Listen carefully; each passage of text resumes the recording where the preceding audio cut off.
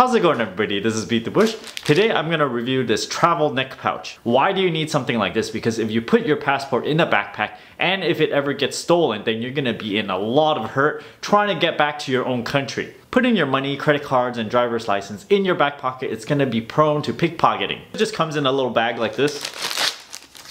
The back is a little soft over here. It has a pouch in the back and two hooks and I think these are for keys. In the top pocket over here, I think you put in money and also there's two tiny pockets inside. I don't know if you can see. You put change in those little pockets. The second pocket's a little smaller. I think you can put credit cards or smart cards for mass transit or whatnot. There's a third pocket over here with no zipper. And then finally the very front pocket, it seems like they want you to put a license or something with your face on it so you can see through. Finally on the side here, you put your passport because it is RFID protected. This is from KICTY. So here are my various things. I got some Hong Kong currency, phone here, my passport, some smart cards for mass transit, and also some foreign currency change. So I'm gonna shove my passport in here. Currency there. Seems like I don't have to fold it. It's just long enough to fit some of the regular size bills. A bunch of change.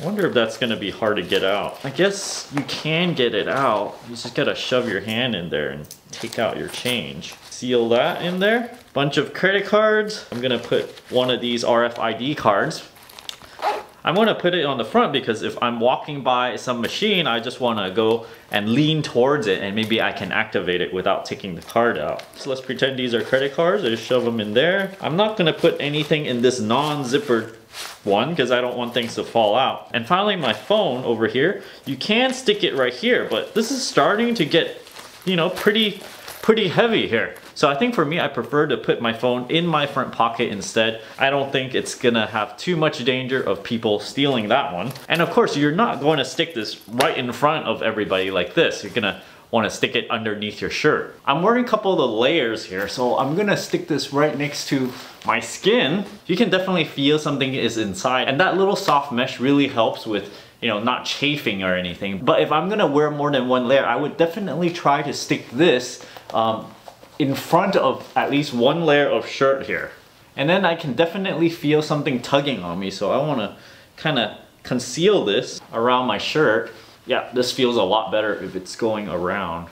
Because I know if you go to really hot countries, you're gonna start sweating underneath here and it might not be so comfortable. But for, you know, colder places, um, you can definitely put it right underneath on top of layers. And then you just button it up like this and people won't be able to tell a thing. So if I lean back, yeah, you can see something protruding, but if I'm just standing normally, you know, it's kind of hard to tell.